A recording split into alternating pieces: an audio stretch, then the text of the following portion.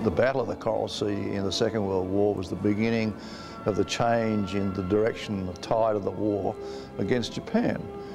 As a result of that battle, the, the invasion of Port Moresby was avoided. And what was really important was that the sea lines of communication between America and Australia uh, were not severed. The sinking of the Lexington and its uh, position just inside of our exclusive economic zone adds historical context to the importance of that sea, which itself supports marine life of all kinds.